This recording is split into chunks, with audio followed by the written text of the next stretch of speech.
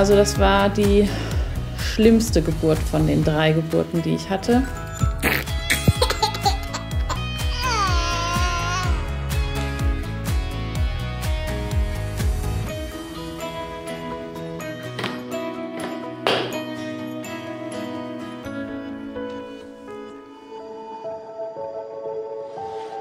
Ja, wir wollen eine Hausgeburt machen.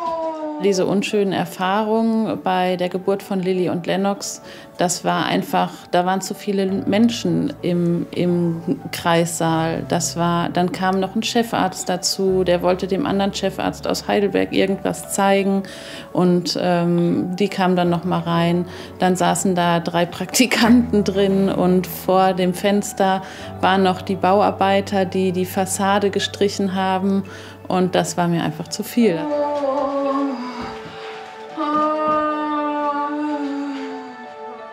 Ich musste da auch erstmal, musste die Geburt tatsächlich erstmal ein bisschen verarbeiten.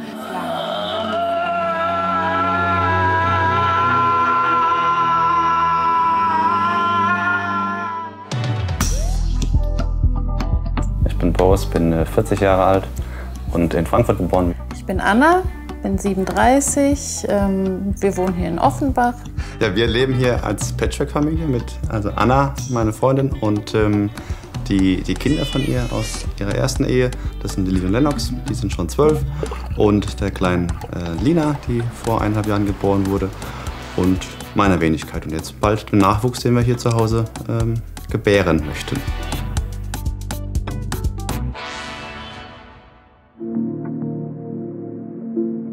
Also die Geburt von Loni, die habe ich als sehr schmerzhaft und kraftvoll ähm, empfunden.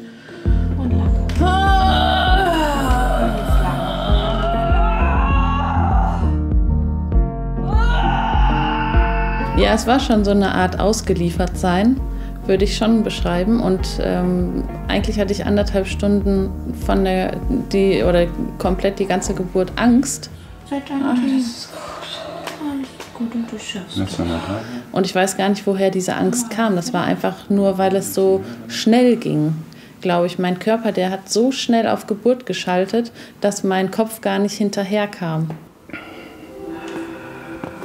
Alles gut oder möchtest du wieder? Das ist natürlich für mich auch irgendwie herausfordernd gewesen, ähm, Anna zu unterstützen, an, an, die Hand zu nehmen und ähm, manchmal den Pool davor zu beschützen, dass er nicht platzt bei der Kraft, die da ausgeübt wurde. Aber das hat eigentlich gut geklappt. Ich habe gemerkt, wie, wie sehr sie mich braucht und dass sie in dieser Angstbubble irgendwie drin ist. Boris, der war mir sehr wichtig, dass er da auch vor mir saß und an meiner Seite stand. Ähm, irgendwann sollte er mal irgendwas holen während der Geburt, aber das ging nicht. Er konnte da, er durfte nicht weggehen. Das war schon, also er hat mir unheimlich viel Unterstützung und viel Angst genommen auch. Nur, dass ich mich an ihm festhalten konnte, das war, das war schon wichtig für mich. Ja, das ist gut der Moment der Geburt, das war einfach wirklich nur eine Erleichterung.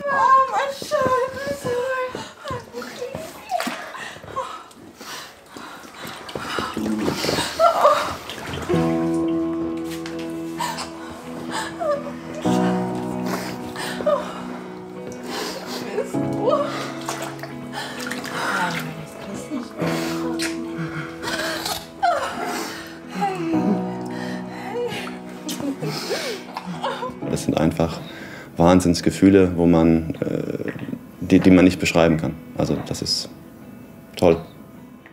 Die Angst war dann plötzlich komplett verschwunden. Und ich war so froh, dass das alles vorbei war, dass die Schwangerschaft vorbei war. Also ich kann das gar nicht beschreiben. Das war einfach nur, ich war so glücklich und froh, dass das endlich alles vorbei war und sie gesund auf meinem Bauch lag.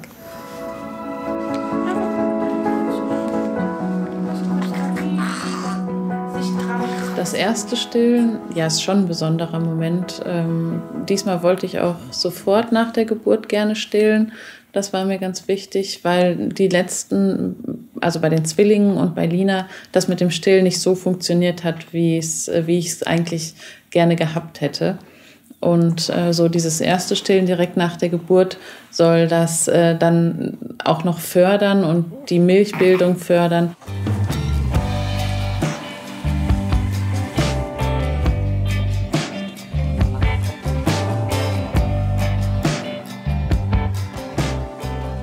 Also Loni ist gerade wie so ein kleines Schweinchen. Loni ist ein total entspanntes Kind. Die schreit kaum, die schläft viel, die macht sich nur bemerkbar, wenn sie Hunger hat.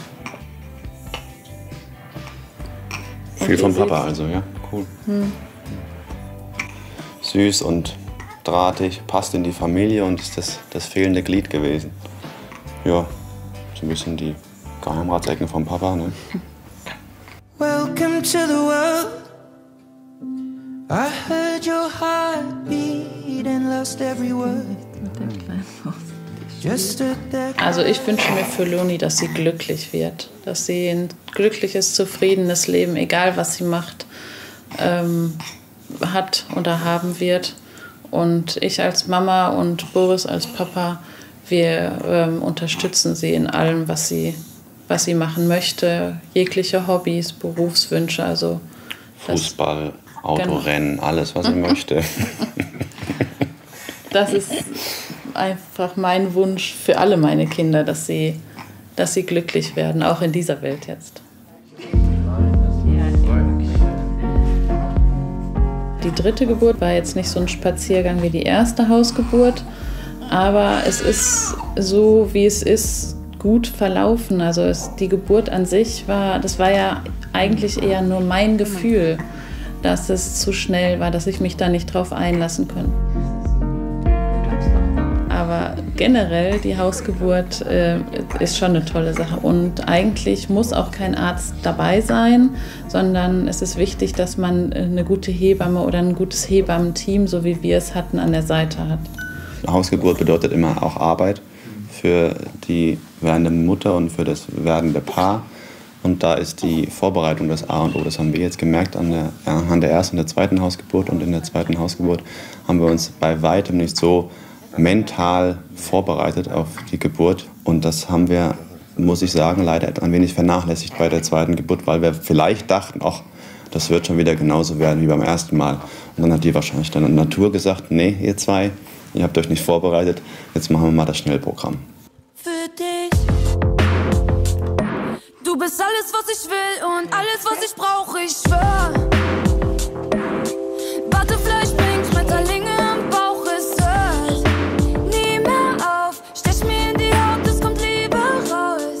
Vier Kinder sind absolut ähm, in Ordnung und auch gut so. Und Loni ist noch das, was uns gefehlt hat in der Familie. Und ja, jetzt habe ich meinen Körper wieder für mich. Ab Sonntag geht's los mit Rückbildungsgymnastik sozusagen. Und dann kommt die Personal Trainerin. Kommt die Personal Trainerin. Dass der Körper wieder der alte Körper wird. Genau. Ich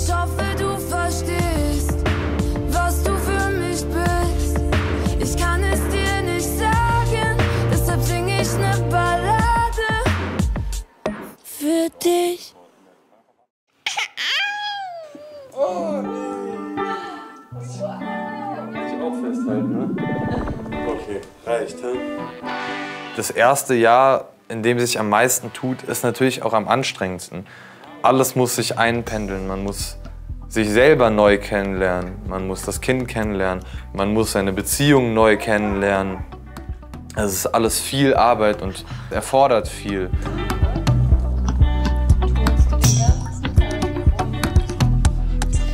Jetzt äh, sind wieder vier Wochen vergangen. Pavis ist wieder zurück. Wir sind äh, zu dritt äh, viel unterwegs gewesen. Ich bin hier gerade auf einer Hip-Hop-Veranstaltung in Mannheim mit Minimensch, Gras im Tuch. Ich habe äh, Kopfhörer dabei, weil später könnte es noch lauter werden. Da hinten unten äh, ist die Hip-Hop-Jam. Es wurde schon Graffiti gesprüht und jetzt äh, wärmen sich die Leute zum Tanzen auf. Pavis ist auch dabei.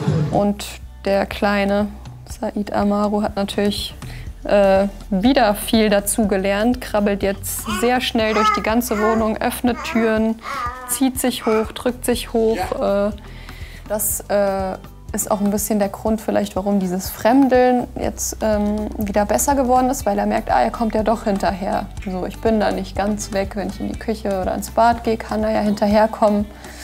Fühlt sich nicht ganz abgehängt vielleicht. Ich bin froh, dass er immer noch gut, dass wir immer noch gut miteinander klarkommen und dass er auch immer noch ähm, seinen Draht wieder zu mir wenn man so will, gefunden hat oder wieder weiß, okay, ich bin, bin, bin wieder da. Nichtsdestotrotz war er eben sehr Mama fixiert, ist ja klar. Und das hat sich aber wieder ein bisschen gelegt.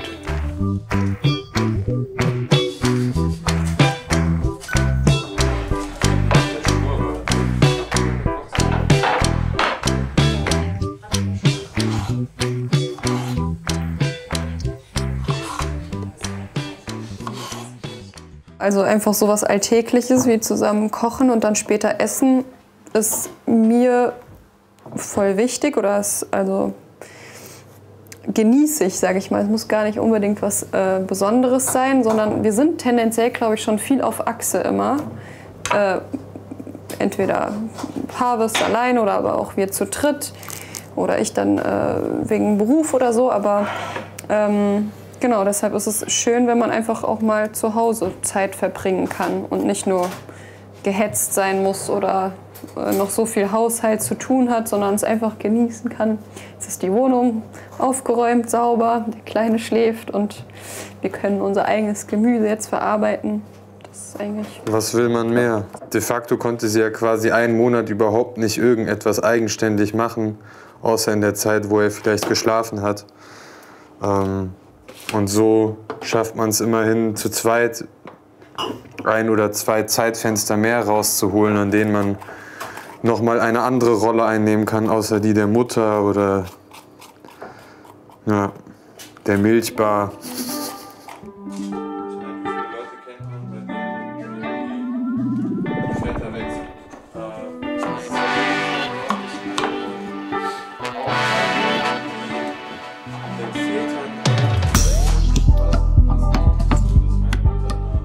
Stille ihn noch voll, aber ähm, er hat auf jeden Fall immer mehr Interesse jetzt am Essen entwickelt, sage ich mal, an, der, ähm, an dem sozialen Miteinander, dass er mit am Tisch sitzt, aber auch ähm, einfach das Essen zu erkunden, also mit Fingerfood. So Brei hat auch mal hier und da besser funktioniert.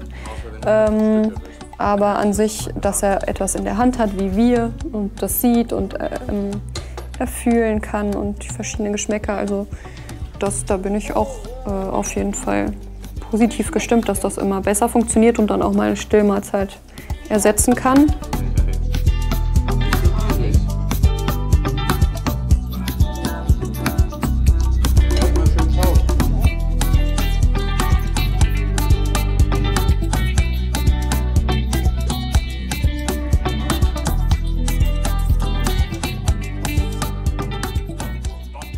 Letzte Mal, als wir bei der Kinderärztin waren, da ist der Begriff des High-Need-Babys äh, gefallen. Ein auffälliger Punkt eben bei ihm ist ja, dass er sehr äh, aktiv ist, motorisch äh, ja, unruhig oft, zum Beispiel beim Stillen, nicht stillhalten